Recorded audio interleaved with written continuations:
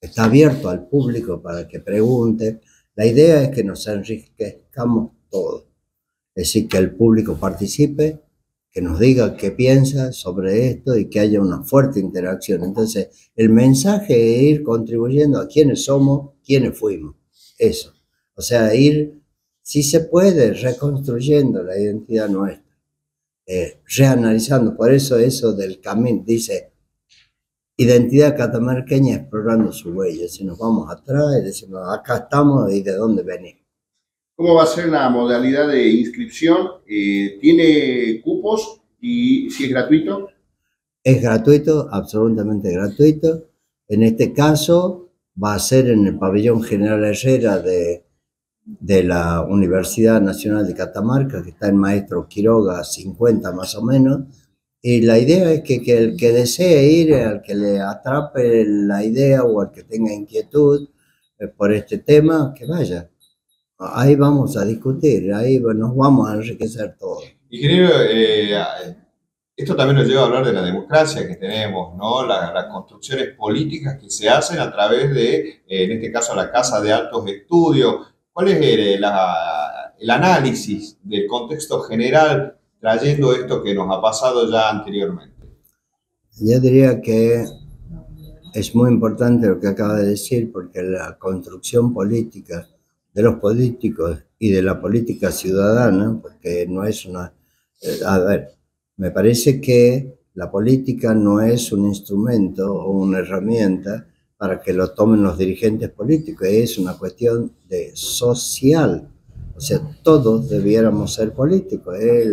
La, manera de manejar nuestra comunidad y nuestra, nuestra sociedad de esa forma. Entonces, en cuanto más reflexionemos en cuanto más tomemos conciencia de quiénes somos y de quiénes queremos ser, no de quiénes, de quiénes tienen la idea de que debemos ser. Entonces, eh, la comunidad debiera seguir el camino que decide seguir. Y para eso está todo un sistema político para escuchar a nuestra comunidad. Entonces, en cuanto más preparados estemos como comunidad, seguramente habrá mejores políticos que atiendan, que escuchen a los ciudadanos.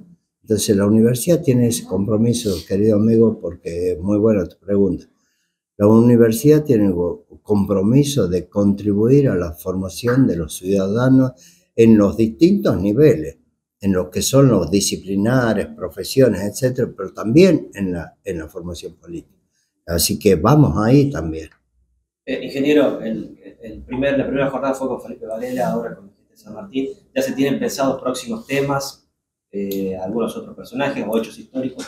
Sí, está, hay, hay muchos temas más. Por ejemplo, también en, en la parte del arte, nuestra famosa Margarita Palacios, por ejemplo también que fue por un lado admirada, por otro lado un poco cuestionada, y en Santa María, grande, gran, una gran promotora de nuestra cultura, pero también tenemos a e, Eulalia Ares de, Mendoza, como de Vildosa, perdón, este, que también la tenemos ya, ya está preparada. Y así, la verdad que estamos una vez por mes durante mucho tiempo.